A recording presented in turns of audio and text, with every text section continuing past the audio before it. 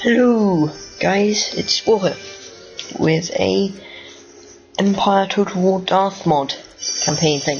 Now, I'm not going to be doing a part today because this is a faction vote thing, and I'll be showing you different factions what you should vote for, or what you want to vote for. So yeah, I will have this up for about two weeks, and then, then whenever I get the votes in, when I get the votes in, I'll choose by the number, and you can only vote once, I must tell you.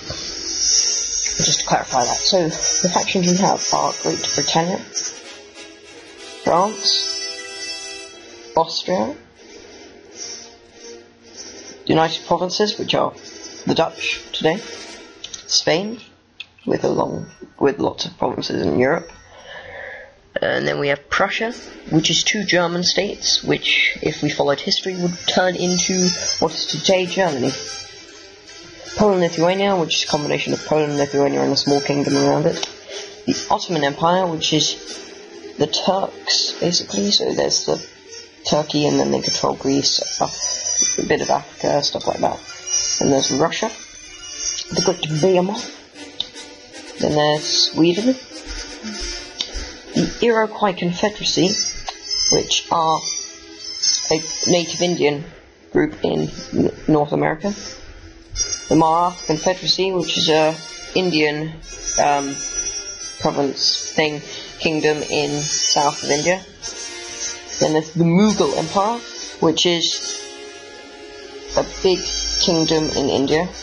It came from the Mongol hordes, as it says here. And then finally, there's the Cherokee Nations, which are another. There are South American, well, sort of mid Central America Indian group. So Great Britain, France, Austria, Dutch, Spain, Prussian, Poland, Lithuania, Turks, Russia, Sweden, Native Indians, uh, Confederacy, Mughal Empire, and Great Britain.